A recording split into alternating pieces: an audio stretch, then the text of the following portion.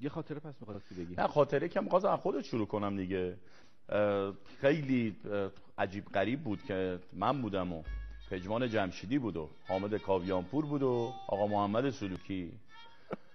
ما گفتیم چیکار کنیم چیکار نکنیم؟ با حامد گفتم حامد بیا ما دو نفری بشیم و پژمانو حالا پژمان جمشیدی فکر کنم برنامه رو ببینه. امروز تازه هم با سال امیدوارم. برگشت؟ آره آره، پژمان. جانه بعد باید بیای جواب بدی. من آره، که دو نفر. نشسته بودن و ما دو نفر شروع کردیم از این آقا محمد و حالا خارج از تهران هم بودیم.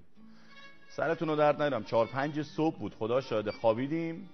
و من بهشون قول دادم که حالا این همه اذیتتون کردم و کلی حالتون رو گرفتم. صبح بلند میشم صبحونه رو من براتون درست کنم صبح بلند شدم دیدم فرار رو برقرار کردن. جفتشون هم نیستن تو خونه.